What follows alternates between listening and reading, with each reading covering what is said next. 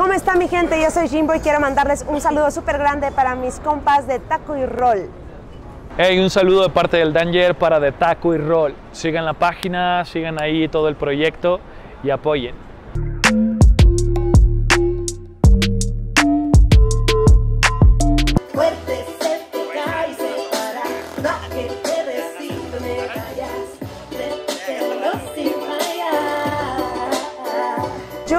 Empecé a escuchar rap cuando iba en la primaria, estaba muy chiquita, le estoy hablando de los años 80, y conforme fui creciendo y fui dándome cuenta de que el rap formaba parte de una cultura más compleja que era hip hop, y me di cuenta que podía expresarme sin tener que estudiar música, sin tener que hacer nada complicado.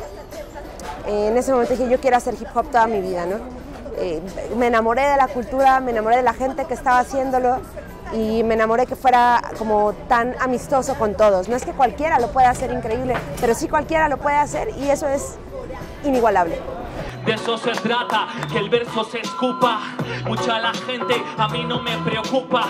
Hay cosas malas, pero de buenas se ocupa. ¿Te gustan las buenas rimas? Pues tráeme esa lupa.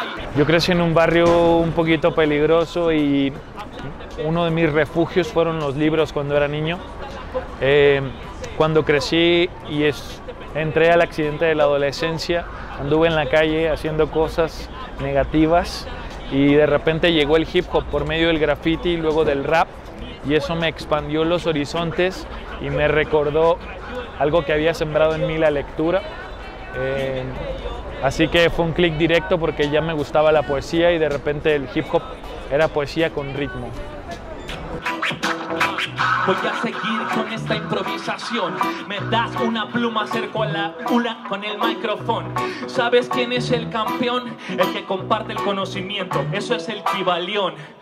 Yo he iniciado El mayor problema con, con el rap alternativo, como me denominan ahora, porque estoy haciendo cosas distintas con el rap como herramienta, ha sido la misma escena del rap que somos, porque yo fui muy puristas, muy de que el rap tiene que ser duro y con una cara de enojado todo el tiempo, o hablar de estas cosas como el dinero y las mujeres y groserías, etc.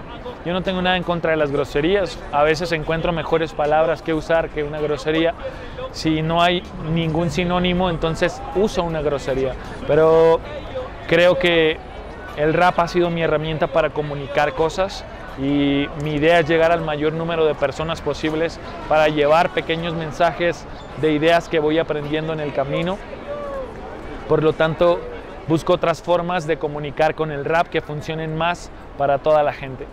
Pues el camino en el hip hop ha sido difícil y tiene, hay muchos momentos, ¿no? Claro que hay, que hay como ciertos días que uno dice, ya no quiero más, estoy cansada, de repente uno no ve frutos del trabajo, de repente ve uno que salen proyectos que les meten mucha lana y uno que lleva tantos años invirtiendo, quizá no lana, pero sí esfuerzo, no pasa nada. Y en esos momentos de repente uno quiere tirar la toalla, pero siempre uno se topa a la gente que va a los conciertos, que te sonríe, que se sabe las rolas y eso como que es la fuerza para seguir.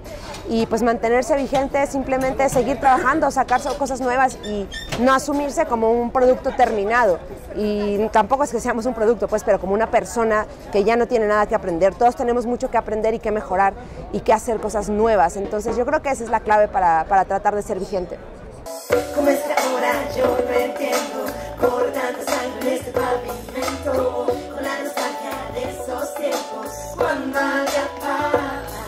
Ahora estamos trabajando en varios reclusorios, empezamos en Tijuana, ahorita estamos en Quirós Cuarón, que es un reclusorio para menores en la Ciudad de México y es una experiencia muy fuerte donde aprendes muchísimo.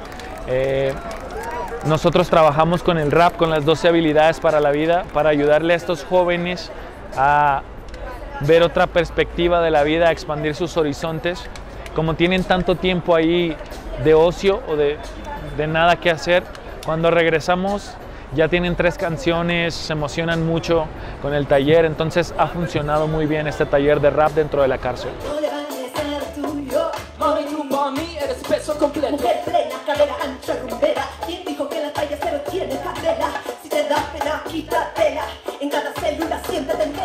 Pues yo quisiera decirle a, a todo el mundo y sobre todo a las mujeres que nunca se detengan en decir y hacer las cosas que piensan, que se informen mucho, que tomemos en cuenta que tener un micrófono es una responsabilidad bien grande y que podemos cambiar vidas y que podemos cambiar nuestro entorno solamente conjuntar unas palabras y decirlas bonito.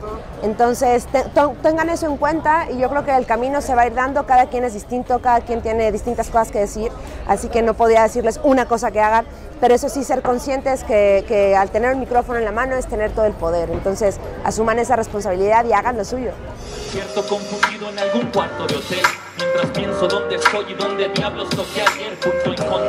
Tú quieres estabilidad, yo duermo en una ciudad Yo primero practiqué mucho, eh, grabé mucho.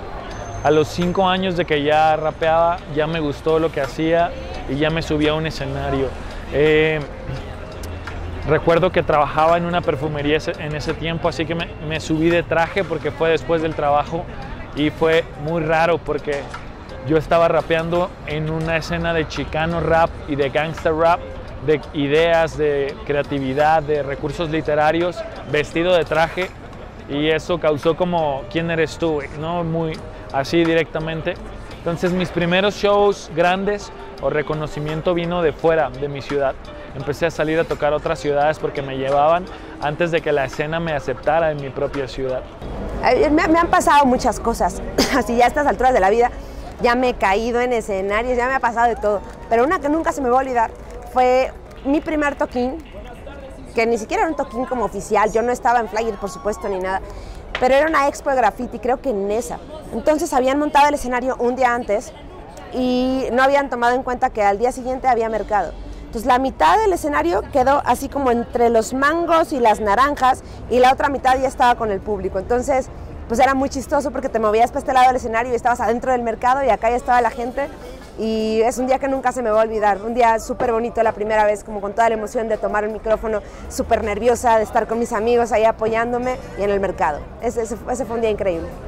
No falta quien dice que soy la peor mujer y que mis decisiones no están bien nomás para. Sé bien que derramo miel con sabor como funky bear. Tengo más suerte, me dime, con amor siempre flor de piel. Ya, pues estoy muy, muy contenta, claro, muy emocionada de que me hayan invitado a la primera cumbre de rap latinoamericano que se va a llevar a cabo en Morelia. Eh, se está se está poniendo como muchos temas que me parece muy importante que discutamos, que platiquemos que, y que nos escuchemos, como tantas personas que estamos haciendo hip hop, pero me parece que muchos días no nos comunicamos entre nosotros y eso a veces no permite que podamos hacer cosas más grandes. Entonces la cumbre yo creo que va a permitir eso, ¿no? que haya una unión entre muchos raperos mexicanos que vamos a estar ahí y raperos de Latinoamérica que también se van a unir. Creo que eso es increíble. En los toquines no da tiempo de platicar de estas cosas con los colegas que están tocando y esa cumbre va a ser para eso. Va a estar muy bueno. Gracias al hip hop le doy la vuelta al país o al mundo con una improvisación. O sea que me ves de la tarima al micrófono, comiendo en cualquier ciudad, eso es de taco y roll. También me gusta representar mi raíz mexicana, eso es el folclore. ¿Qué te puedo decir? Me gusta el arte, la pintura, me gusta la poesía, el rap, la literatura. Así que vas a decir mi nombre cuando hables de cultura. ¿Qué más te puedo decir? A mí me encanta México, también me gusta lo que hago, por eso perfecciono el léxico.